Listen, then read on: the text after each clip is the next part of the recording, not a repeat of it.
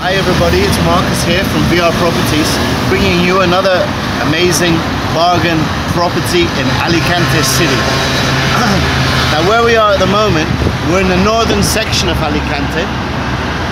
You've got the main motorway up there, which goes to the airport and goes to Benidorm.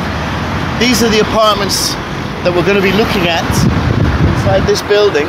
But just to give you an idea of where we are, there's the outlet centre right in front of us.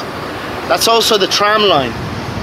So this apartment is located next to a shopping center, next to a tram line, next to a bus stop. It's perfect. You've got everything around you. There's loads of amenities, there's loads of restaurants, there's loads of bars. Let's go and have a look at the apartment. Here we are at the apartment. It's another bargain price opportunity. Um, follow me, I'll show you around. The apartment is quite new, it's been refurbished. You can see from the floors all the tiling is new and it does need a little bit of work here and there, just to, a bit of tender loving care. The bathroom's been refurbished, the, ba the bath's been taken out, it's got a walk-in shower. And the bathroom's pretty okay, doesn't need any work doing to it, maybe just a little bit of cleaning up. Then on this side of the hallway we have the first bedroom. So just a basic bedroom. You can see lots of natural light, it looks out onto the little bars and the gardens below. Nothing special about this bedroom. It's a single bedroom. Okay, and then we come through here. And now we've got to the right the kitchen. Again, it's been retiled. It's got a brand new washing machine. It's got a new fridge.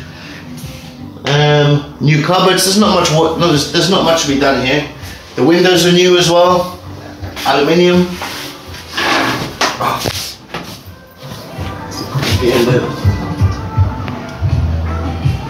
Okay. Then we've got the main bedroom at the end of the corridor.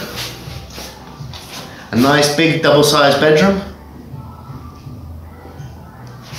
And then this is a typical Spanish um, workmanship layout. You come into the living room and the third bedroom is off the living room.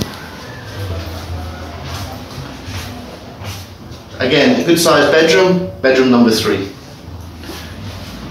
So, last but not least, the living room. Not a bad little size, and quite a nice little balcony.